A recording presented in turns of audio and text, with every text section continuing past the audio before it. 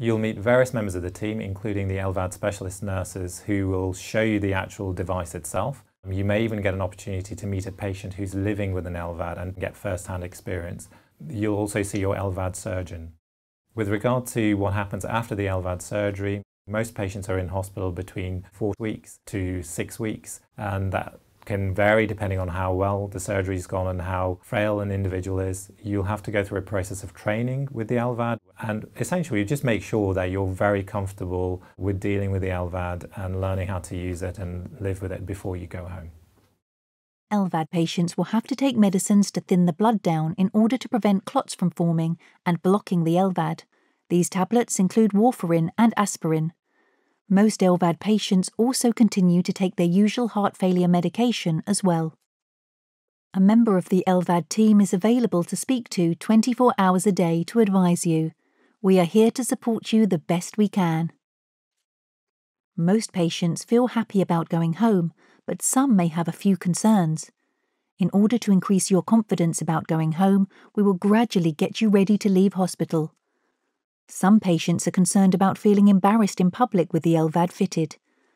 These trips will help you to get used to any questions people may ask and help you realise that most people do not even notice the LVAD. If you are very concerned about going home, please tell us. We can arrange for you to see a psychologist who will help you to address your concerns. We will ask you to come back to Harefield Hospital for regular follow up appointments as an outpatient to see how you are doing. Your first appointment is usually two weeks after you have left hospital, and we will book this before you leave. Please call us each week to let us know how you are doing, unless you have an outpatient appointment that week. You need to make the following checks every day and keep a record in your medication book, which you will be given prior to discharge. Take your temperature.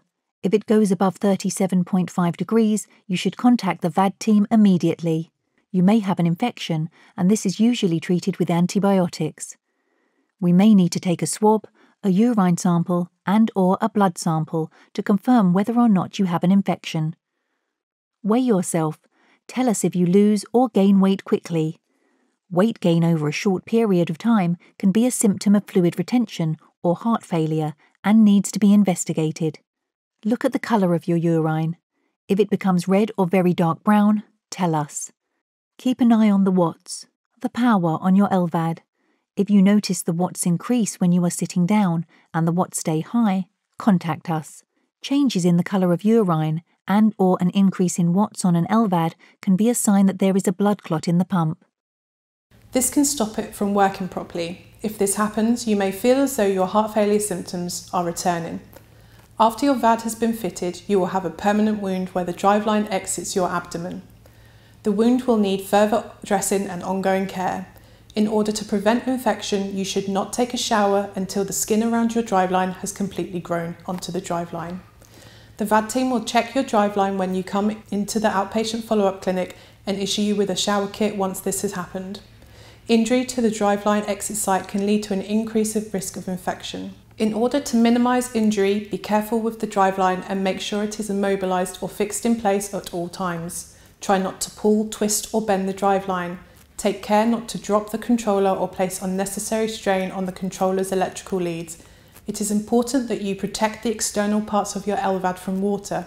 It will not be possible for you to take a bath. You will be able to take a shower once your driveline has fully healed. We will check this when you are ready to go home and in the follow-up clinics. You should change your driveline dressing after each shower as this helps minimise the risk of infection. We ask patients not to have more than two showers a week. Many patients have been able to resume sexual relations after having an LVAD fitted. If you are a female patient, please remember that you should not get pregnant because of your medical condition and the drug therapy that you are receiving. You may be allowed to drive after your surgery. This depends on factors including how well you are, how dependent your heart and circulation are on the LVAD, any other medical conditions that you may have. The current advice from the DVLA is driving should cease on insertion of the LVAD. Relicensing can be considered on an individual basis six months after device implantation. It is important that you contact the DVLA and your insurance company and explain your situation to them. The DVLA may request a medical report about your case from the hospital. Most patients find they can exercise well with an LVAD even if they are unwell before the operation. We advise LVAD patients to do some moderate exercise and build up slowly over a long period.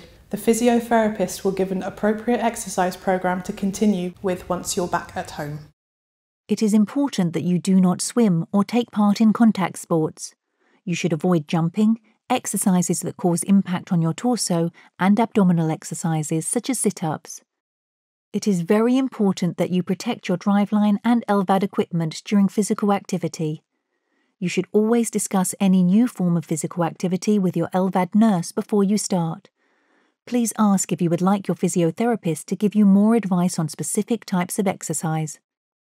Travelling with an LVAD is possible, but it is essential that you involve your VAD nurses and doctors as it will need careful and thorough planning.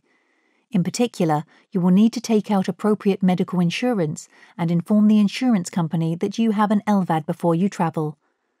You will need to have had your device for at least six months and have had no unplanned hospital admissions in the previous six months. We do not recommend travel abroad in the following circumstances.